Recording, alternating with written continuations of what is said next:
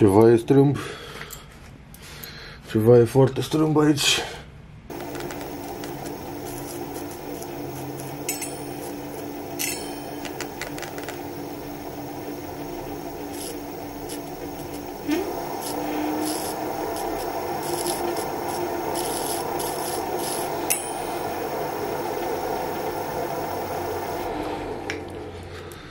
Da. Deci, a fost accidentat de un BMW, nu care avea importanță ce mașina a lovit, l-a lovit, dar ceva e strâmb acum. Iar pe exterior nu am nimic de reglat, așa că o să trebuiască desfăcut cu totul, să vedem înăuntru ce s-a întâmplat. Posibil să fie de la rulmenți, nu știu ce să zic, trebuie să-l desfac.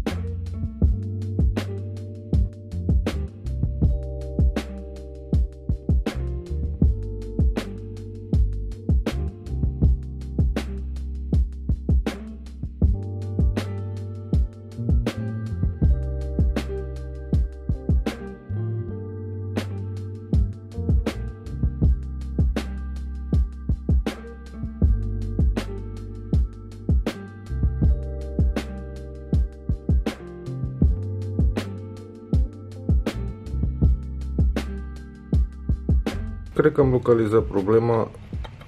Rulmentul face foarte mare joc aici.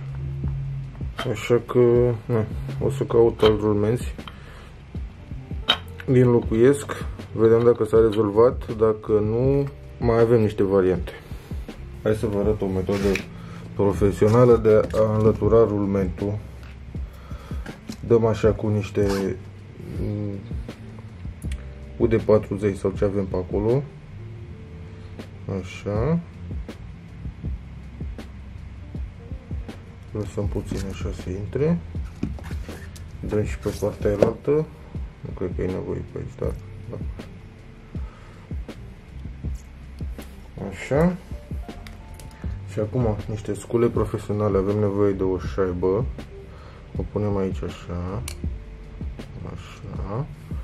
Și de o cap de tubulare din asta de pentru să o punem aici pe mijloc. Așa exact pe mijloc. Trebuie să fie centrată la milimetru. Așa. Și două ciocani. Și asta a fost. Nu știu ce model sunt sărăciile astea de rulmenți că pe partea asta scrie 314 și pe partea altă scrie 378. Rulumentul de pe partea cu cablu e mai mare. Deci avem pentru ăla 6003 și pentru ăla altul avem 6202. Uite că se și desfoc. Asta e 6003, asta e aici. Și asta e cel mai puțin mai mic. Se vede o mică diferență. Asta e pe partea cu cablu 6003 și e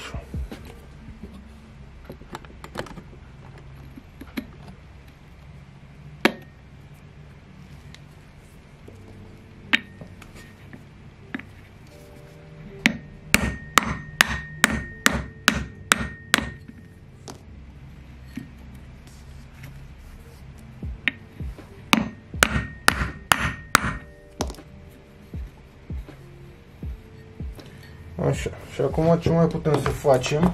Dăm cu niște lubrifiant siliconic. Din asta așa.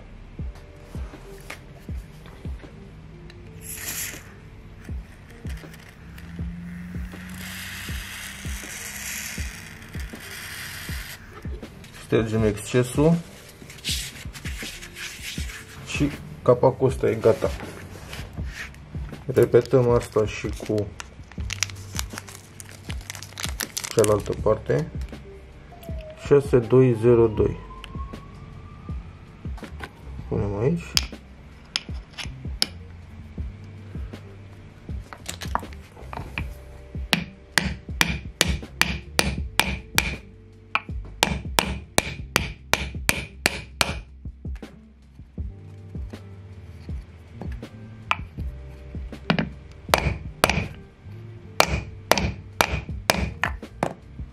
lubrifiem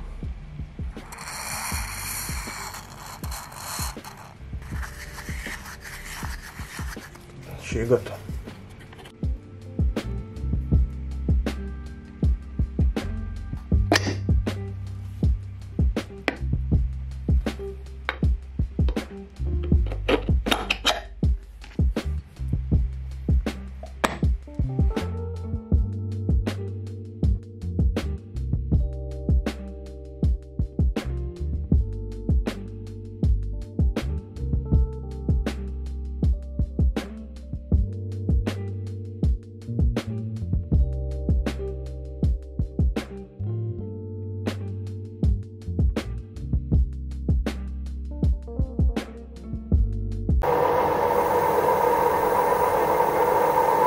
Pe față totul e ok în afară de cauciuc care e puțin așezat aiurea.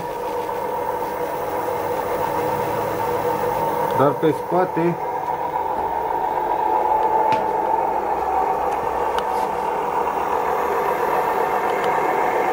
se aude ca tren. Deci trebuie să repezi procedura și pe spate.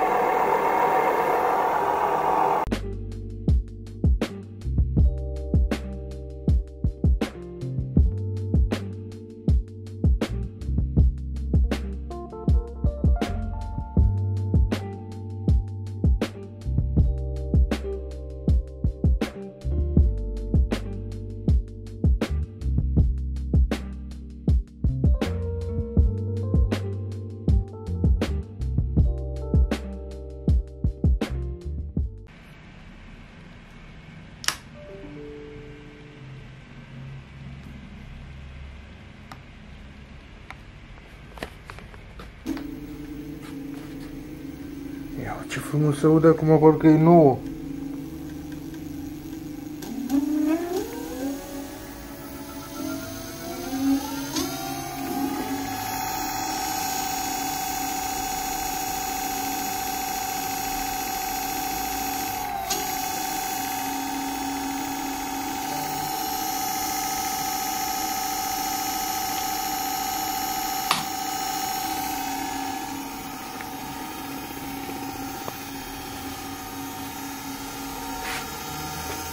Deci, o pereche de rulmenți, două perechi de rulmenți au făcut trotineta asta să se audă ca și cum ar fi nou nouță.